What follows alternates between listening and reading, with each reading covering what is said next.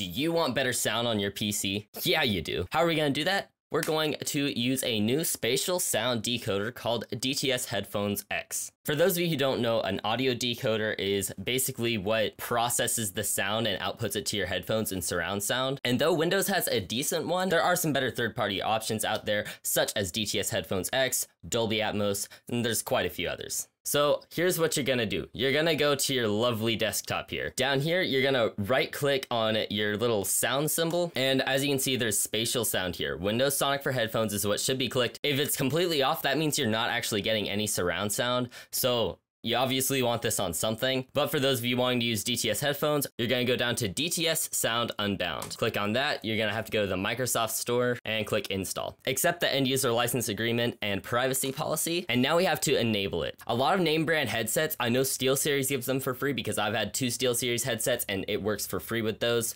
They actually have DTS Headphone X built in. So if you have a name brand gaming headset, go ahead and, and see if it goes ahead and says licensed here. If it does, you're good. You're good to go.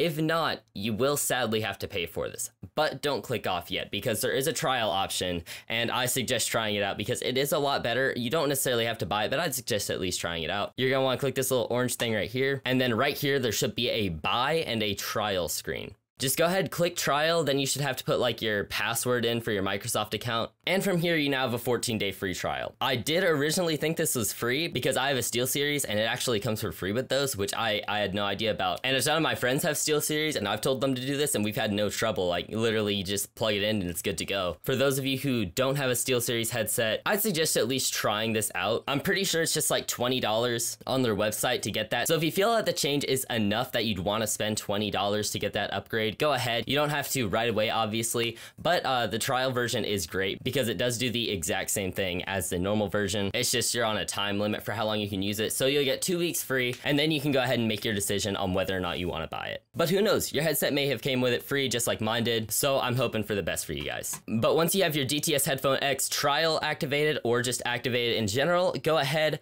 go down to your headphones here and make sure spatial sound is set to DTS Headphone X.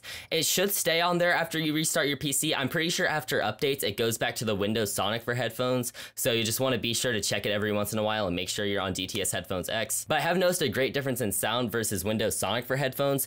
And there's actually one setting you can kind of mess with in DTS headphones. Right here, it's spatial mode. So there's a balance and spacious. I usually keep it on balance, but I haven't really done too much testing. So see which one you like better. Some people may like spacious, some people may like balance balance, and it's up to you. But now your audio should sound a lot more crisp and just overall better. Anyways, I hope you guys enjoyed this quick little tutorial. If you did, be sure to like and subscribe. Helps out a lot. And yeah, I hope you enjoyed, and I'll see you next time.